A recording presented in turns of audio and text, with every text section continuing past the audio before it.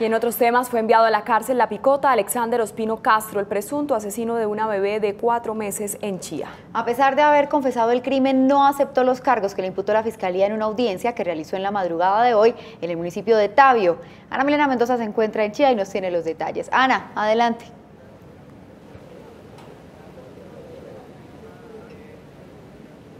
Hola, muy buenas tardes para todos. Pues hace unos minutos el Instituto de Medicina Legal aseguró a través de un comunicado que María José, la menor de edad de cuatro meses, falleció a causa de una asfixia mecánica por sofocación.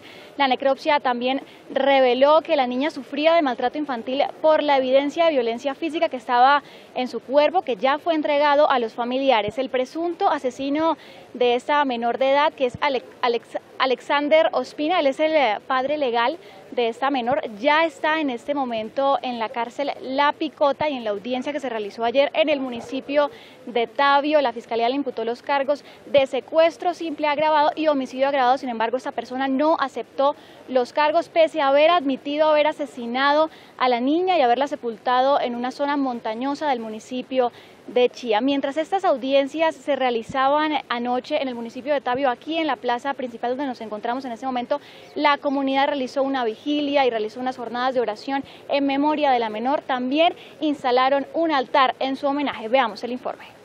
Chía llora a María José es el mensaje escrito en un cartel donde se encuentra el altar simbólico que se instaló para rendir homenaje en memoria de la bebé de cuatro meses. El municipio despertó consternado por la triste historia. Chía está muy triste con este caso de la muerte de la niña.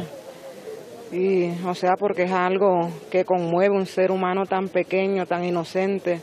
Uy, no, que eso es muy repugnante, que qué está pasando con los derechos de los niños, que los encarcelan, vuelven y los y, salen, que tengamos más, más respeto con esos niños. el dolor más grande de la vida es que expresarlo es tenaz. Uno llora de ver eso porque no es que uno le duele, no que es que uno piensa, tiene sus hijitos. De acuerdo con la alcaldía de Chía, el cuerpo de la menor será trasladado al municipio de María la Baja, departamento de Bolívar, de donde es oriunda su familia. Como gobierno, nosotros como gobierno eh, les vamos a colaborar en el traslado a la mamá a la ciudad de Cartagena y de Cartagena vía terrestre María de la Baja donde finalizará con el tema de las exequias. La madre de la niña se encuentra recibiendo un acompañamiento psicosocial por parte del bienestar familiar. Meni, a pesar de la indignación y el dolor que sienten también los habitantes del municipio de Chía, hay un sentimiento de tranquilidad porque se están esclareciendo los hechos de este crimen rápidamente también gracias a las autoridades y al gobierno municipal. Yo los dejo en este momento con las imágenes de este altar que la comunidad construyó en memoria de la niña donde dice Chía llora María José, rechazamos todo acto de violencia en contra de los niños y niñas. Yo me despido desde el municipio de Chía, Ana Milena Mendoza para el canal de Bogotá y su gente, Canal Capital. Ana Milena, muchas gracias. Y es que